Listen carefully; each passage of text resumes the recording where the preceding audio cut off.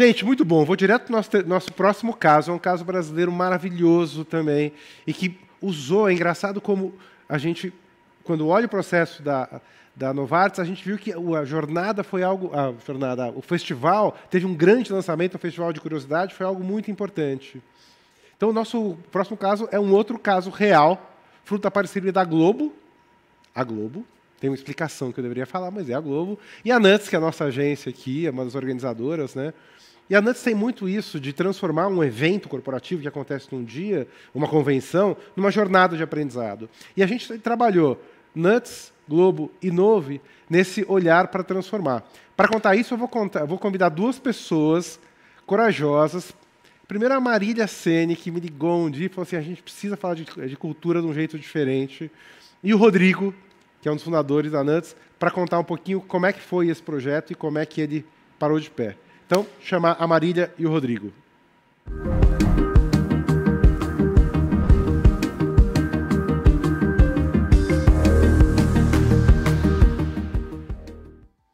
Muito bem, que bom ver vocês. Gente, esses fundos são tão mais bonitos que os meus, né? Do Rodrigo. Rodrigo, onde você está nesse momento? Estou em Estocolmo, senhor Conrado. Tá Eu tô com, tô com inveja de, de você dividindo o palco com a senhora Deb. Aí era era para estar junto com vocês aí também. Era para estar junto. O Rodrigo, para quem não sabe, ele tirou um mini sabático trabalhando com a família enquanto os filhos deles permitem viajar. É, a gente está falando de aprendizado. É bom, é bom demais é, poder fazer isso. E Marília, o teu fundo está quase tão bonito quanto o Austin, né? Tá lindo. Tá, Ela também é artista, música. Quantas músicas a gente está descobrindo hoje? Pessoal, bom dia, pessoal, tudo bem? Muito bom, gente. A bola é com vocês. Pedir para vocês começarem se descrevendo e depois contar esse caso para a gente. Maravilha. Vou começar aqui me apresentando, né? Eu sou uma paulista, é, radicada no Rio há 11 anos, amante de viagens, de música, gatos, de bons momentos com família e amigos. Esposa de um baiano arretado, que traz um pouco de causa aqui no meu mundo mais organizado. Sou uma mulher branca, de olhos e cabelos castanho escuro, tenho 1,59m, estou usando uma blusa preta, maquiagem leve, brincos prateados. Eu estou na Globo há cinco anos e há dois anos e meio nesse mega desafio da transformação cultural da empresa. E é um prazer muito grande estar aqui com vocês hoje e compartilhar esse case do qual eu tenho um imenso orgulho e carinho. Boa! E eu sou o Rodrigo, eu estou aqui, estou aqui em Estocolmo, estou entendendo também. Aliás, Conrado e Deb, você sabe que tá, acabei de ser da Finlândia, que é o lugar que tem a educação básica mais, mais bacana do mundo ali. Depois, esse é outro assunto, mas putz, eu aprendi um monte lá também. Mas, basicamente, eu sou, sou branco, estou uh, uh, vestindo careca, uh, uma barba também ficando branquinha, estou com uma camiseta preta e uma blusa preta também. E estou aqui no fundo no fundo de, de, um, de um hotel aqui, né? Mas, então, vamos começar que é, aliás, esse é um case muito legal, acho que tem um monte de coisa bacana aqui e fora da caixa. Antes de mais nada, eu tenho que agradecer a coragem, Maria, da Globo, de ter colocado uma coisa tão maluquetes. Então, depois vocês vão conhecer aqui por que, que foi maluquetes assim e, e maluquetes do bem. Mas antes de, de, de entrar nisso, Marília, vamos entender, conta para a gente um pouquinho esse contexto. A gente escuta um monte de coisa de Globo, né? É engraçado, quando a gente conquistou a conta da Globo, a, todo mundo veio comentar e veio falar porque a Globo está na nossa cabeça mesmo. Então, qual é o momento que a Globo está passando? Qual é o contexto quando você fala de cultura Globo? Pois é, né? A Globo ela vem há alguns anos passando por mudanças impulsionadas pela transformação do mercado de mídia, né? A nova forma de consumir conteúdo, conteúdo mais específico, sob demanda, multiplataforma e a própria revolução digital do setor. E isso trouxe uma necessidade da Globo rever seu posicionamento estratégico, né? É, que tem como três principais aí, pilares: manter a relevância do conteúdo, né? Aquele conteúdo que emociona as pessoas, que impacta a sociedade, que é de qualidade, que é confiável. É, a transformação da publicidade, então, quais são as soluções que a gente consegue é, apresentar para aquele um cliente, né? Soluções multiplataformas, integradas, e, por fim, a relação direta com as pessoas, né? Entender quem são os milhões de uns que assistem a Globo, que esse cara, que esse cara né, gosta de consumir, em qual horário, é, em qual plataforma. E esses três pilares impulsionados aí por dados e por tecnologia. E toda essa transformação estratégica, ela demandou também uma revisão do modelo operacional. Então, hoje a gente é orientado por produtos, é, não mais por unidade de negócio, né? Então, a gente unificou cinco empresas do grupo e é um modelo operacional muito mais integrado.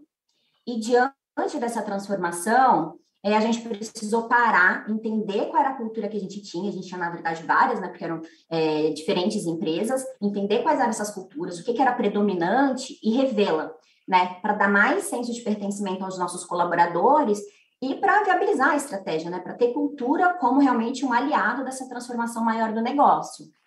Então, a gente partiu para uma etapa de diagnóstico com os colaboradores, líderes e não líderes, para a gente entender quem a gente era e a gente co-construiu a cultura que a gente quer para a Globo, uma cultura que a gente vem agora né, construindo nos últimos dois anos. Né? E é uma cultura muito mais colaborativa, ágil, leve, conectada, e ela é representada em nove pilares. É, a gente começou a disseminar essa cultura pela liderança, né, para que eles se apropriassem, fosse exemplo da mudança. Acho que é, Nina e Patrícia falaram um pouco disso na, no case anterior. É, depois, no ano passado, a gente começou a disseminar a cultura desejada para todos os colaboradores, e passada essa primeira fase de dar ciência a eles de qual era essa cultura desejada, a gente evoluiu para uma fase de empoderar as nossas pessoas para a mudança, né? Para que elas entendam o seu papel e como cada um pode contribuir nesse movimento. É, e aí que entra o nosso projeto, né? A gente tinha o objetivo de reforçar o entendimento da cultura desejada, de dar ferramentas, estimular que as pessoas experimentassem na prática os novos comportamentos propostos, né? É, e aí, ligados a quatro pilares que a gente priorizou, que são temas mais transversais e que impulsionam de alguma forma os demais pilares. E a gente estava em busca de um modelo novo para fazer isso, né? Com aprendizado mais livre, com mais empoderamento, mais potente e nessa nossa busca a gente conheceu a Nuts e a Novi, que nos propuseram um caminho que fazia muito sentido e a gente mergulhou juntos nessa cocriação, né, Rodrigo? Boa, boa. E quando então a Marília, né, toda a turma da Globo apresentou esse cenário para a gente, a gente falou, a gente sentou, né, né, Conrado, sentou a gente junto, série, time da Novi, time da Nuts, também co-criando com a, com a Globo, a gente falou, cara, então vamos entender. A gente tem aqui algumas premissas. Primeiro, uh, os dois temas, né, dos nove pilares, os dois primeiros escolhidos eram é, fala clara, ou seja, uma fala transparente, falar o que você pensa, que é um tema para eles é, é super é, fundamental e, e, e, importante, e leveza. Então, cara, como você pode ser então mais leve, ter, que, eu acho que não só Globo, mas o mundo precisa, né? Então, fala clara e leveza. Então, obviamente, o que, que a gente, o que a gente ia propor tinha que ser leve, e tinha que ser muito transparente, muito fácil das pessoas entenderem. Né? Então, essa é uma premissa. Segundo, era aberto, então participava quem queria. Então, tinha que ser muito interessante, tinha que ser muito legal, senão o número de inscritos, né, Marília, ia ser um fracasso. Assim. Então, ainda mais no meio de tantos treinamentos, tantas coisas que existem. Beleza. E, e tinha que levar para casa um, um, alguma coisa. Então, ele tinha que praticar esses dois elementos, levar uma ferramenta para casa. Né? Então, tinham esses três pilares que para a gente eram eram super, super importantes. Daí a gente teve um grande insight, que eu acho que foi muito legal, e o Conrado, na fala dele, ali abriu com isso, que é, poxa, se tem tanta gente querendo ir para festival, tem tanta gente, né? O South by Southwest já virou, né? Tem mais brasileiro que... Então, o que, que existe, que lógica existe por trás de um festival que faz com que as pessoas é, é, curtam tanto? E aí a gente começou a perceber que, assim, num festival, você tem autonomia, você escolhe aquilo que você quer aprender, o que você quer escutar, o que você quer então, esse é, um, é, uma lógica legal. Num festival, você tem surpresa, né? Então, pô, você se surpreende. É, o Salto by Southwest todo mundo conhece. Não sei se todo mundo conhece um que o Conrado desvendou e eu fui na cola dele, que chama 99U, que acontece também em Nova York e é muito legal.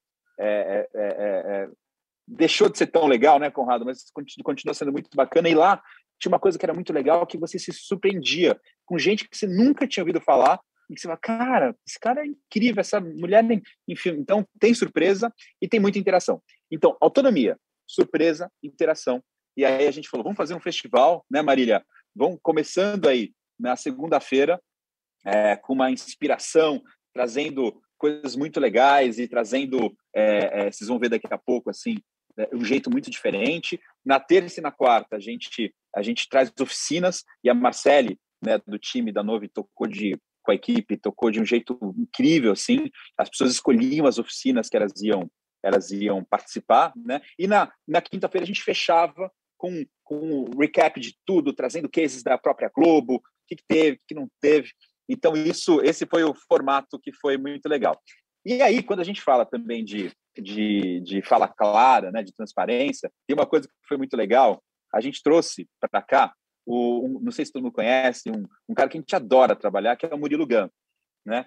Que ele, que ele é um veio do mundo da comédia, né?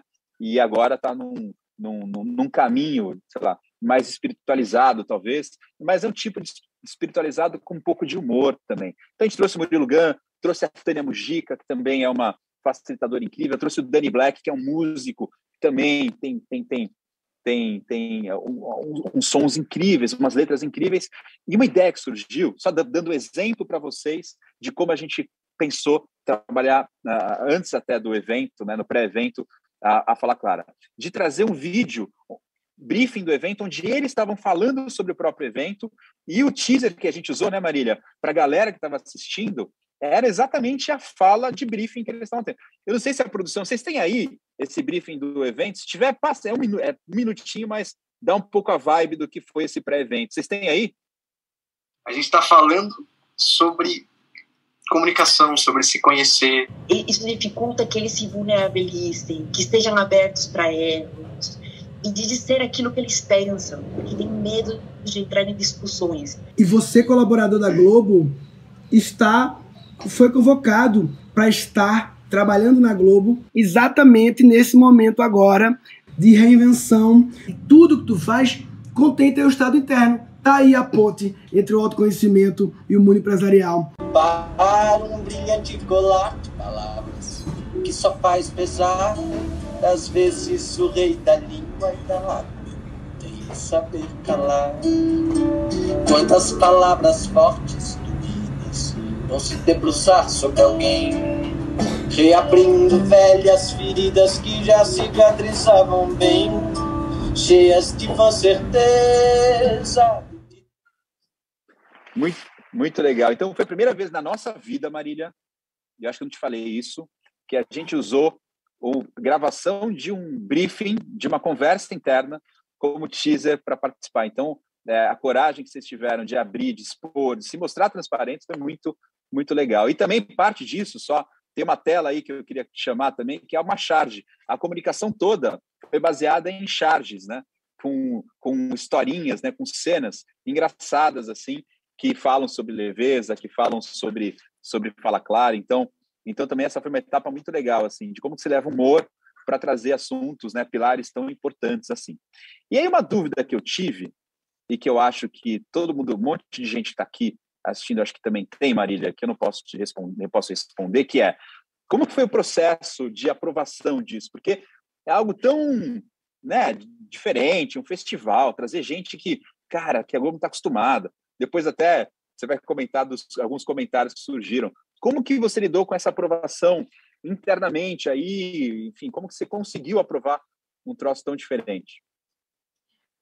Pois é, Rodrigo, acho que a primeira coisa a destacar é que toda a proposta fez muito sentido para a gente, porque a gente estava buscando, né? Então, é, a metodologia portada do Head, Hands and Heart, né, tem um fit muito grande com o processo de transformação cultural, com o nosso objetivo para essa iniciativa, né, de pessoas se conectando com a cultura, experimentando, então vivendo ela, né, trazendo ela à vida. É, fez muito sentido também o modelo self-service, né, de flexibilidade, de autonomia, de trazer essa leveza, esse protagonismo, e a possibilidade de ter é, o coletivo de agentes da mudança da cultura co-criando e ajudando a gente até mesmo na realização ali do evento. Então, isso já era meio caminho andado para aprovação, né, todo esse fit. E a outra metade, né, que foi o elemento ali, é, piração, que era a parte difícil da gente aprovar, a gente conseguiu porque um, a gente busca sempre inovar, né? Emocionar também o nosso público interno. É, e tinha muita confiança né, em quem estava conduzindo o projeto, tanto é, o, o, time é, interno da Globo, quanto vocês, nossos parceiros. Né? Então, acho que isso contribuiu para a aprovação. É, mantendo aqui a fala transparente, acho que o momento colaborou também, estava todo mundo numa loucura muito grande, então foi assim, cara, é, vai, só vai, faz acontecer, né? Confiamos em vocês, vão. Então, é, isso colaborou e, e, foi, foi um gol, a gente disse foi um golaço lá. Legal, legal. E aliás, você pegou um ponto super importante, né? Momento maluco, todo mundo fazendo um monte de coisa e tal. E é engraçado, esse ano eu percebi que deu uma diminuída, mas eu também. um monte de gente está tá escutando, está assistindo aqui a gente, eu tenho certeza que passa pelo mesmo ponto, de um monte de treinamentos, uma agenda super lotada e uma agência que concorre consigo, uma agenda que concorre consigo mesmo, né? Você tem programas de diferentes áreas acontecendo. Então, é, também é, conta um pouco como a Globo é, tenta, tenta organizar um pouco essa, esse monte de agenda que às vezes concorre consigo mesmo, assim. É um super desafio mesmo, né? Eu acho que foi fundamental ali o alinhamento com o time de desenvolvimento, né? Então, mesmo o nosso festival ele não estando inicialmente no plano do ano, é, a gente conseguiu com muita parceria ali acomodar as iniciativas para que não houvesse overlapping naquela semana do evento. Então, o desenvolvimento eles têm cada vez mais agido, é, atuado como um hub para cons consolidar realmente esse grande mapa do que está acontecendo na organização em termos de, de iniciativas de desenvolvimento. É, e aí, para esse ano, a gente já incorporou, que a gente faz uma próxima semana em breve, né, ainda no primeiro semestre, a gente já incorporou isso no Cycle Plan, e inclusive pensando em como a Semana Cultura pode impulsionar outros festivais de treinamento das academias Globo, né? Então, como uma coisa pode potencializar a outra e não concorrer né, por, por atenção, por público. E um outro desafio grande dessa questão de concorrência é a concorrência de comunicação comunicação interna, ela é muito intensa na Globo, principalmente com todo o movimento de transformação que a gente vem passando, né? Então, para isso também foi essencial esse alinhamento com comunicação interna. É, a gente teve uma pessoa do time de comunicação dentro do nosso squad do projeto, né? Ajudou a co-criar a régua de comunicação, é, a prever a melhor forma, o melhor momento, o melhor canal também interno para a gente comunicar. É, e, e, a gente também teve a plataforma, né? que ajudou como sendo um grande hub ali de informações. Então, isso fez com que a gente conseguisse diminuir a quantidade de e-mails, é, de comunicação a, aos colaboradores, e um lugar que a gente podia oferecer tudo que ele precisava e queria saber sobre o evento em um único local ali. Então, era inclusive o ponto onde eles se inscreviam é, para cada uma das sessões. Muito legal. E a gente está vendo aqui, né, enquanto a gente fala aqui, a gente está vendo o, o, vídeo, um vídeo case aí de alguns do que vocês já viram, de algum da plataforma, está mostrando aí. Então, assim, a gente, né, a Deb e Conrado, no Content to Culture, a gente tem essa preocupação de sempre entregar uma coisa que seja útil, seja verdade absoluta. Então, assim, em resumo, eu acho que, que o que eu acho que é legal, né, Marília, que a, que a turma conheça. Primeiro, existe um formato mais legal para você fazer a, o início de um projeto como esse de cultura. E esse formato pode ser, por exemplo, um festival. E eu tô adorando o festival porque é isso, você consegue criar algo que seja engajador, que seja muito legal. Um outro ponto é, existe uma maneira de você engajar as pessoas também mais criativa e mais legal, como a plataforma que ela falou, com uma comunicação mais bem-humorada, sem aquela comunicação com cara corporativa, né? Então, existe um jeito mais legal de fazer isso, né? E aí, então, e, e, aí até depois, viu? A gente pode colocar no site, se você autorizar, um pouco desses materiais da agenda, enfim. Mas Marília, tudo isso que a gente fez muito legal, muito, né? A gente adorou, foi um projeto maravilhoso. Mas a grande, a grande pergunta é: reverberou? As pessoas curtiram? Você sentiu o resultado? Conta para a gente se a galera curtiu, não curtiu. E até o seguinte: o que, que deu errado? O que, que a gente aprendeu e vai aprender agora para a segunda semana que vai acontecer daqui daqui um tempinho, né? Conta para a gente um pouco, por favor. A nossa avaliação na primeira semana ela é muito positiva, né? E a gente sim enxerga a oportunidade de potencializar esse impacto na próxima edição.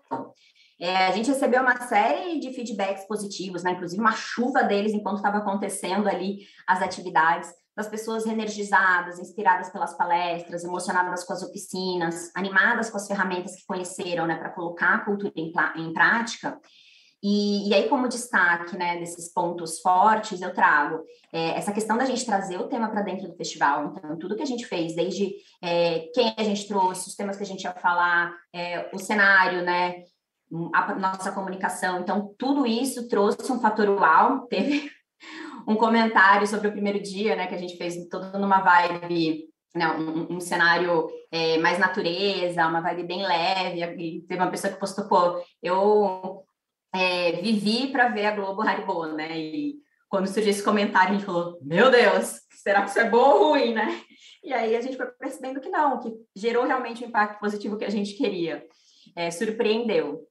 É, outro destaque foi a flexibilidade do modelo self-service, né, da pessoa é, poder trilhar o aprendizado que queria ter, né? Também foi abordado um pouquinho no case da Novartis. Então, é, as pessoas podiam escolher aquele tema ou que ela tem forte e que quer potencializar e que ela acha que pode, pode contribuir mais, aquele que, de repente, ela está um pouco mais distante e quer aprender uma forma é, de conseguir se desenvolver ali. Então, ela tinha liberdade de criando a, a sua, a sua aprendizagem mesmo, a sua trilha e a facilidade de inscrição pela plataforma.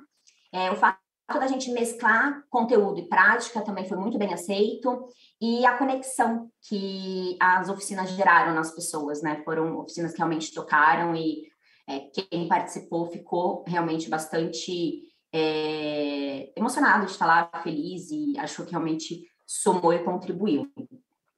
E aí sempre tem um aprendizado, né? A gente gosta de compartilhar também. Peguem os blocos, anotem, porque vocês já podem é, considerar quando vocês forem fazer o de vocês, esses inputs. Então, primeiro, para aumentar a adesão, né? Sempre pensar muito bem na época do ano, evitar os eventos concorrentes, a gente já falou um pouco disso hoje. É, antecipar o save the date, né? No nosso caso, a gente pensa que a gente deveria fazer isso três, de repente quatro semanas, exatamente por ter muitos eventos, então a pessoa sabe que vai ter aquele festival, já começa a blocar alguns horários na agenda. É, variar um pouco mais os horários, na né? primeira semana a gente acabou fazendo tudo de manhã, mas a gente entende que a gente tem que, que aproveitar mais os slots que a gente tem no dia, exatamente para encaixar nas diferentes realidades da empresa, né? Uma empresa muito grande, é, com áreas que têm realidades muito diferentes. O, a, a, comunicação né, e, e, o engajamento via liderança também, acho que a gente pode potencializar e, e utilizar melhor a liderança como um, como um caminho para trazer é, os times para o festival, aumentar as informações sobre cada evento, a pessoa realmente saber o que vai acontecer naquela sessão e garantir um elementual em todos os eventos, em todos os dias, é, como é que a gente vai surpreender e emocionar. Para sustentar, é, a gente precisa definir melhor como é que a gente vai fazer essa sustentação e acompanhar os resultados pós-festival, né? O quanto que as pessoas estão realmente colocando em prática o que aprenderam. Então, é, não é orgânico, a gente sentiu isso depois que a semana terminou, que a gente precisa de alguma forma dar esse acompanhamento de uma forma mais estruturada. Muito bom, muito bom, Má. E olha, que, que legal, que delícia vai fazer esse trabalho e continuar fazendo agora nas, nas próximas semanas, né? Então, te agradecer demais, assim, super, super, super de coração. E, e o Conrado, você está aí, você, você participou ativamente também, né? É, eu. Então, eu, você tem algum eu... ponto que eu esqueci de, de não, falar? Não, tenho nem o que falar. Eu acho que eu, eu, participei. E, na verdade, tem um momento que eu queria destacar, e acho que é a única pergunta para a Marília, é, que, teve um, que, que teve um momento que eu senti mas um momento de verdades agora aqui, Marília. Que eu senti um pouco de, de receio do time. Falei assim, gente, mas é, é, esse tipo de exposição nos workshops mesmo? É... Teve um momento, antes de vocês pularem de cabeça, que eu senti um friozinho na barriga. Primeiro, é verdade essa sensação? E depois, assim, o que, que você pode falar para os outros RHs que estão aqui e que vão eventualmente passar por essa experiência de, putz, mas eu, eu, eu sei um caminho, eu até não sei se eu acredito tanto nesse caminho, mas tem um caminho novo aqui que ele é diferente e que eu vou ter que me arriscar. Teve esse momento um pouco de, meu Deus, é isso mesmo? E, e, e como é que foi esse processo? Teve super, né? Acho que a primeira reunião eu saí quase que bugada. no final, conta o que você achou. Eu falei, não consigo, volto depois. É, não leio, é, verdade. Pra mim. E mas acho que tem várias coisas aí envolvidas, né? Acho que um pouco tem um pouco até da, do que a gente está trabalhando de mudança cultural, né? A gente tem assim a, a é, um, um ponto que é você assumir riscos e aceitar o erro, que é um ponto que a gente tem de evolução na Globo. Então acho que isso também gerou caraca, será que não é arriscado demais? É, qual se der muito ruim, né? O que, que, qual vai ser a consequência disso? Então é, esse momento de freezing e aí a, até foi, eu tô trazendo sempre as meninas, porque acho que os temas se conectaram muito, né? Mas a Nina e a Patrícia falaram disso também. A gente, é, como RH, também tem que, que viver o que a gente está se propondo, né? Então a gente também tem que arriscar e falar, cara, se errar, a gente vai gerenciar isso. É isso mesmo, vamos fazer. É, e, e, trazer coisas novas, né? A gente está tá no mundo novo, não adianta a gente ficar no mesmo modelo de aprendizagem tradicional, né? Simplesmente saco cheio, sendo bem honesta. Então, como é que a gente a gente precisa arriscar fazer coisa diferente, a gente precisa testar outros modelos. É, a verdade absoluta para uma empresa não vai ser na outra, obviamente, né? São realidades diferentes, mas a gente tem que ir testando, se permitindo e ajustando, na verdade, ajustando sempre, né? Achar a fórmula perfeita, depois de amanhã já não vai ser mais, mas é, acho que a gente tem que se permitir e, e deu certo no final. Rolou, rolou. Eu não lembrava, foi muito boa essa reunião. Eu lembro que a gente falou: o que, que você achou? Eu falei: não consigo responder o que eu achei, é bom demais. Cara, é, é, legal ver isso acontecendo, né, Rodrigo, em, em, em outros lugares também, né? Muito tem, é, a lógica não, da jornada, até antes de você falar, assim, gente, a lógica da jornada, a lógica de ter um festival, para a gente, é quase, é, é semi-obrigatório. Assim, você vai lançar um projeto de cultura de aprendizagem, não dá para lançar com oito workshops. Não dá para lançar com e-learning. Tem que ser um monte de coisa. Você tem que aproveitar todo. Você vê a importância de ter uma plataforma, de ter curadoria, de ter participação de outras pessoas. Então, para a gente fazer é, um festival ou algo de muito diferente, de muito destaque e amplo, é um baita ponto de partida. E o festival em si já é uma metalinguagem da cultura, né, Rodrigo? Exatamente, exatamente. E você sabe que, que tem, né, além de Globo, que a gente que a gente agora está tão, tá, tá tão intenso, né? Tem outro cliente muito querido do coração, que tem algumas pessoas aqui, inclusive, assistindo, que é a Renner, né? E a gente usou também como case no passado. E, e, e, a gente deu mais um passo, né, Conrado, esse ano, e a Deb também tem a Renner como, como cliente, deu mais um passo também de ousadia na jornada desse ano, né? Foi uma jornada, do final do ano passado, aliás. Foi uma jornada que que as pessoas, elas próprias, criavam conteúdo que todo mundo assistia, ou seja, os próprios líderes geravam conteúdo, eles tinham um valor que eles podiam fazer isso. Você tinha uma série de, no, no, antes do evento, você tinha uma série de atividades que eles, que eles, que eles podiam né, também cumprir se eles quisessem. Então foi muito legal. A gente até tem um vídeo, não sei se dá tempo de mostrar aí, Conrado e Débora. Mostra sim, tem um é rapidão, vídeo né? também que chama então, ótimo. Mostra rapidão. Acho que esse vídeo é muito legal para ilustrar também um outro jeito, além do que a Globo fez, um outro jeito de fazer essa jornada tão inspiradora, tão legal.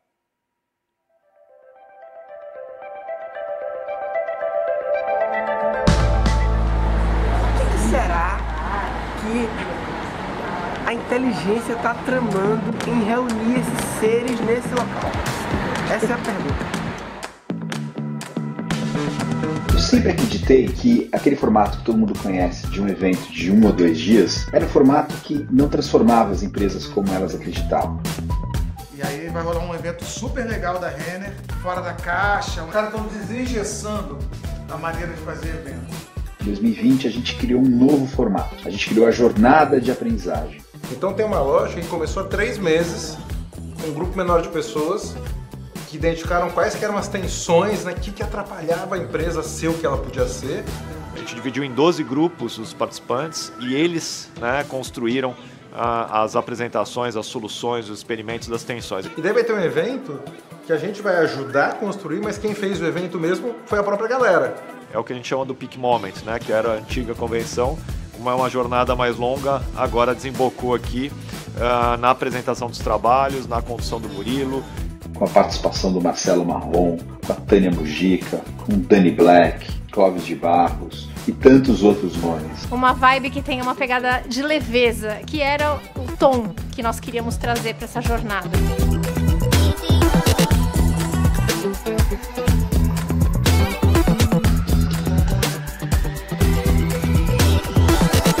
Eu vim aqui descobrir o que eu vou fazer. O convite é deixar fluir isso já diz muito sobre ser um evento vivo e ser um evento que tem abertura para isso, para o imprevisível. É isso que a gente está fazendo aqui.